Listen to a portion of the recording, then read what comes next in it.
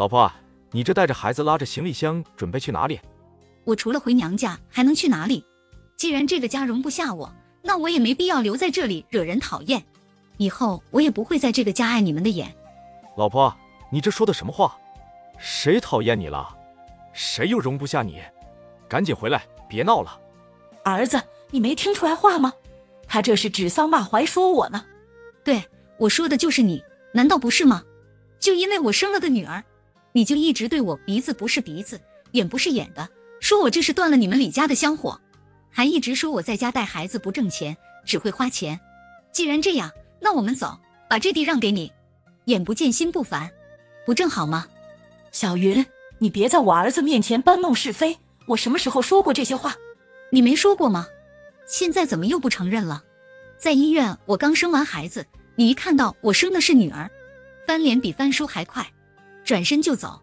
别说给我女儿买套衣服，就连我坐月子都没伺候过一天。有时候我给自己买套衣服，你就在一边阴阳怪气说着风凉话，说我浪费钱。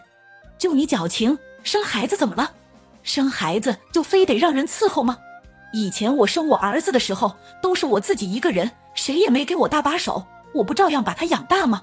我们那时候尿片都是用旧衣服一剪，你倒好，就喜欢花钱去外面买什么尿不湿，浪费钱不说，孩子还容易红屁股，和你们以前能比吗？我又不花你的钱，我给自己的孩子买点尿不湿就浪费钱，那小叔子拿着你的钱在家玩游戏就不叫浪费钱吗？你哪只眼睛看见我拿钱给你小叔子了？再说我自己的钱爱给谁就给谁，你管不着。你是长辈，我肯定管不着你。但是你哭着喊着叫我们给你一次性出钱买养老保险的时候，可不是这样说的。我记得你当时信誓旦旦的说，只要你以后每个月能领养老金，我们就不需要按月给你钱，家里基本的日常开支你都可以包了。我们想想，觉得你说的也对，有了养老保险，至少可以保障你和我爸的伙食费，这样你们也更有安全感。逢年过节我们再贴补点，经济压力确实也没那么大。于是我和李浩一次性出了八万给你缴纳了养老保险。可是自从你开始领养老保险，你又是怎么做的呢？你非但每个月还是要让我们交伙食费，还以物价上涨为由，要求我们每个月多交五百块钱。我之前一直以为你对小叔子和对我们的要求是一样的，直到后来我才发现是自己太天真了。婆婆，你不感觉自己太偏心了吗？小叔子是你的儿子，我老公也是你的儿子，为什么你自己贴补他还不够？还要压榨我们一起去贴补他，小云，你在瞎说什么？我什么时候压榨你们了？自从我们结婚以后，你就说大家要按人头交伙食费给你，你们年纪大了赚不到钱，我们交钱给你们是应该的。可是凭什么我们交了钱，小叔子却不用交？想着他没结婚，一个人吃不了多少，我也不跟你提这个事。可是你却总是瞒着我们把好吃的留给他，你这个做大嫂的也太小气了。你小叔子一个人能吃多少？再说他一个月有一半的时间都不在家吃饭，我给他吃点好吃的怎么了？我没说你不能给他吃好吃的，但你至少得一碗水端平，大家吃一样的吧。可你不但把好吃的留给他，每个月还偷偷塞钱给他。这个时候我才知道，原来你说的物价上涨都是贴补给了小叔子。两个都是你儿子，你平日里苛待我也就算了，为什么对自己的儿子都不能一视同仁？小云，你没有证据就不要在这里瞎说。我看你说吃饭的事是假，故意挑拨我和我儿子之间的感情是真。你儿子又不是傻子，你做的什么事他又不是不知道。很多事情他不说出来，不代表他不知道，他只是看在你是他母亲的份上，不愿意多说。我也是看在你儿子的份上，不和你计较。可现在你做的实在是太过分了。我知道你儿子夹在中间也很为难，所以我想和他离婚。离婚就离婚，你还真威胁不到我。你以为你离了婚日子就好过吗？带着一个拖油瓶，你的日子怎么过？你觉得还有人要你吗？小云不想再和婆婆多废话，直接推着孩子就走了。妈，你怎么说话的？你是不是真想让我妻离子散，你才满意吗？小浩，你怎么和我说话的？你真是娶了媳妇忘了娘，跟着你媳妇一起来说我，我有让你们离婚吗？我有让小云走吗？明明是你老婆在这里搬弄是非，冤枉我偏心你弟弟。你今天不把话说清楚，我就和你们没完。有些事本来我不想说，但你今天非得逼我说出来，那我就和你掰扯掰扯。妈，咱们先来说说你养老保险的钱是不是我们一次性给你交的？我承认这个钱确实是你们给我交的，但是你们交了这个小钱，不是可以省大钱吗？之前我们就算过了，按照我每个月领两千块钱计算，用不到四年就可以回本了。四年以后我拿到的钱，不就是你们赚到的吗？话是这么说，但是你又是怎么做的呢？现在你每个月领着两千多块钱的养老金，还要我们每个月给你两千块钱的伙食费。逢年过节，我们还给你不少钱，没想到你却把这些钱全部补贴给了你小儿子。儿子，你怎么你老婆说什么你就信什么呀？没有的事。这个还需要我老婆说吗？弟弟到现在都没有一份真正的工作，他去年就买了一辆二十万的小车，你说他这个钱从哪里来？不是你给的，又是谁给的？你可别小看你弟弟，虽然他没有一份正经的工作，但是他坐在家里就能挣钱，比你们强多了。我看你们两口子就是嫉妒他。都这个时候了，你还在护着他？上个月爸一直说胃不舒服，一检查结果是胃癌，医生说手术费至少得准备二十万，我和我弟至少每人得拿十万。你也知道，现在只有我一个人挣钱。自从小云怀孕后，到现在他都没有出去上过班，一直在家里带孩子。你说我哪里有这么多钱？可是爸生病了，有什么办法？总是治病要紧，我就去找朋友借了十万块钱。我现在就想问一下。你把这个钱拿到哪里去了？你这话问的，钱当然是给你爸治病用了。你现在问这个干什么？难道你后悔了，想把这个钱拿回去吗？那你真是不孝，作为儿子给父母花点钱都舍不得吗？妈，你不要在这里跟我装，你应该知道我问这句话是什么意思。我要是心疼钱，就不会去借钱给我爸治病。既然借了，那就应该把这个钱花到我爸身上去。可是你扪心自问，这个钱真的是花到我爸身上去了吗？你这话是什么意思啊？你现在是怀疑我把这个钱吞了吗？难道不是吗？要不是前天我和我老婆去医院看爸，医生跟我们说你叫他们停了我爸的药，现在每天就吃点止疼药，打点止疼针，也就一百来块钱。我真没想到你竟然把主意打到这笔钱上面。那可是我爸，你怎么能这样做呢？我现在就想问问你，既然这笔钱没有用在我爸身上，那到底花到哪里去了？行吧，既然医生全部都告诉了你。那我也不藏着掖着了。当初检查结果一出来，医生就说你爸是胃癌晚期，没必要治疗了。既然横竖都是死，那还花这个冤枉钱干什么？我想了想，与其把钱丢到医院，不如把它花在值得花的地方。所以我就自作主张，让医生只给你爸止疼，让他在最后的日子里尽量减轻痛苦。你说的值得花的地方，就是给弟弟买房子吗？妈，我真不知道怎么说你。在你眼里，难道我爸一条命还没有一套房子值钱吗？再说，这是我借来给爸治病的，你凭什么不经过我同意就给了弟弟买房？他好歹是你同甘共苦生活了几十年的夫妻，你是怎么忍心这样做的？你爸已经无力为天了，花再多的钱也救不了他的命。我不想到头来人财两空。再说，你弟弟都已经二十八岁了，也到了成家的年纪了。前几天你三婶给他介绍了一个女孩子，人家对你弟弟各方面都比较满意。唯一的不满意就是市里没房子。为了让你弟弟尽快结婚，我只能把这钱给了你弟弟，再加上之前存的那些钱，付个首付刚好够，这样他就能结婚了，也算了结了我的一桩心事。那我爸呢？你就这样不管他了吗？你真的好狠的心，居然眼睁睁看着我爸在医院等死。要是让爸知道了，他会怎么想？儿子，我也是没办法呀。医生都说了，你爸这是癌症晚期。根本就没有治愈的希望，我们就是砸再多的钱也没用。就算他知道了，我想他也肯定会支持我这样做的。你弟弟一天不结婚，你爸也是一天不安宁。我是觉得还是把这钱花在你弟弟身上，让他结婚生子，到时候你爸肯定会特别高兴的。其实让你爸在有生之年看到你弟弟结婚，也算是了了他的心愿。你想的可真周到。就算爸他同意你这样做，那你是不是应该和他先商量一下？你干嘛自作主张，和谁都不说？你要知道，这可是我借来给爸治病的钱。要是我早知道你把这钱拿去给弟弟买房，打死我都不会去借，更不会交给你。看来我老婆说的没错，你就是偏心，还不止一点点偏心。我爸的命都不及你小儿子房子重要，真是让人寒心。本来说好我们每人出十万给我爸治病，可是到最后弟弟不仅一分钱没拿，反倒还拿走了我借来的十万元给他付了首付。他现在是潇洒，房子车子都有了。可是我呢，孩子也生了，却还租房子住。我自己既没房又没车，如今又欠了十万元外债，你说我们以后怎么生活？难怪我老婆要和我离婚。要不是你偏心无底线，我老婆怎么会和我离婚？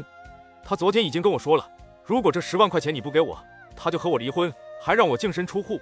借的那十万块钱也由我一个人承担。儿子，我怎么感觉听你老婆说的话，你还没有十万块钱重要呢？这样的女人，你还要她干嘛？她要离婚就和她离，早离早省事。这么多年，她就给咱们家生了个赔钱货，我没怪她断了我们李家的香火就不错了。她倒自己较上劲了，自己没本事，还不想让自己小叔子好过。这女人心思太歹毒了。妈，你真是太自私了。他只是维护我们的正当权益。又没有做什么过分的事，这也叫歹毒吗？如果弟弟依靠自己的努力赚钱，凭借自己的本事买房买车，过上好日子，我们替他高兴还来不及。问题是现在爸治病需要钱，他不光自己不掏钱，还拿了我给爸的救命钱来买房，这就是不应该。弟弟不懂事，你也不懂事嘛，孰重孰轻都分不清。我哪里分不清了？我都说了，你爸这病已经没法治了，给他花钱就是浪费，别说十万。就是一百万也治不好他的病，懂了吗？这钱留着活着的人花不好吗？我说了这妖多，你还是听不进去，真是个倔驴。你这些话我不想听，反正你要把这钱还给我，我自己拿去给爸治病。你凭什么不经过我同意就擅自做主？我也知道我爸这个病治好的希望很渺茫，但是为人子女不可能就这样眼睁睁的看着他离开。我现在就是要用钱从死神手里给他抢时间，哪怕他只能多活几天，我也心甘情愿。你现在赶紧把钱给我要回来，这钱早没了，你给了我就拿给你弟弟付了房子首付了。这么多年，你们只给我们李家生了一个女儿，我想让小云再生个儿子，她死活不愿意。我也不再指望你们给我们李家延续香火，所以这个重任只能交给你弟弟了。你爸身体好的时候也老跟我念叨这件事，他就算知道我这样做，肯定也会支持我的。我们活了大半辈子，不就是指望儿女能成家立业吗？你为了让我弟能娶上媳妇，却不惜拆散我的家庭，你有考虑过我的感受吗？你以为给我弟买了房买了车，他就能娶到老婆，你就能抱孙子了吗？跟你说实话，像你这种刁蛮不讲理、胡搅蛮缠的婆婆，我看有哪个人家愿意把女儿嫁过来？到时候你别说抱孙子，估计孙女长大了也不会认你。而爸呢，他要是知道你做的事，绝对会恨你。他怎么也不会想到，和自己生活了这么多年的老伴，最后会这样算计自己。你为了弟弟不惜拆散我的家庭，让爸在床上等死，还美其名曰把钱花在刀刃上，为李家延续香火。你这样做迟早会后悔的。你现在赶紧想办法把钱给我交出来，不然我这辈子都不会原谅你。李浩说完就出门去追老婆孩子，母亲则气呼呼的去了医院，跟父亲把这些事说了一遍。父亲听完，差点气得背过气去。老婆子，你真是糊涂啊！我的身体怎么样，我心里清楚。你不给我治病，我也不怪你。但是你不能把大儿子的钱拿去给小儿子买房子，那可是他去借来给我治病的。你不经过他同意就拿去给小儿子，他现在负债累累，你这样做对得起他吗？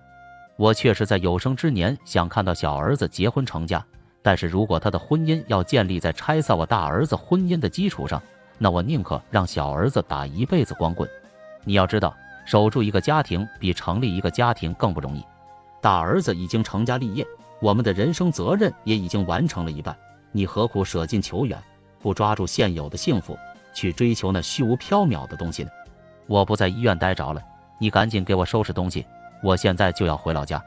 老头子，你自己刚刚不是也说想在走之前看着咱小儿子娶妻生子吗？现在咱既然有这个条件，为什么不帮帮他们？我看大儿媳妇是不会离婚的，他就是吓唬吓唬我们。我知道你打小就偏心小儿子，你在自己的能力范围内帮帮他，我没意见。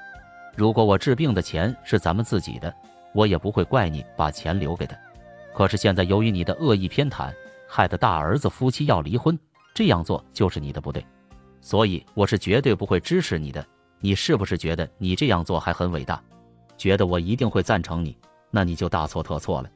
好了，我不多说了，你赶紧去给我办出院手续吧，我们回老家。老头子，这怎么行呢？咱还是在医院待着吧。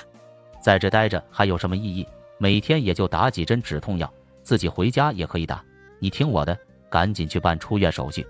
母亲只得给父亲办了出院手续。刚到老家，父亲就给大儿媳妇打去了电话。小云，你婆婆做的那些事我全都知道了。你别生气，这是你婆婆的错，你可千万不要和小浩离婚呢。你们那么好的感情，别因为一时冲动毁了婚姻。你放心好了，爸会给你做主的。你等我两天，我一定会想办法把这个钱还上的。之前我用积蓄在镇上买了一套房子，本来是给他们两兄弟结婚用的，可是你们宁愿租房子，也不愿待在镇上，说离上班地方太远。既然这样，那这套房子也没啥用了，所以我打算把这套房子卖了。我今天刚从医院回老家，明天我就把房子挂出去，等房子一出手，我就把钱给你。爸，你不在医院待着，怎么跑回家了？我跟小浩离婚不是因为这十万块钱，如果我心疼钱，也就不会让小浩去借钱给你治病了。我是气婆婆，我们给你治病的钱，竟然自作主张拿去给了小叔子，他也不想想我们当时借这些钱得顶着多大的压力，他从来就没考虑过我们的感受。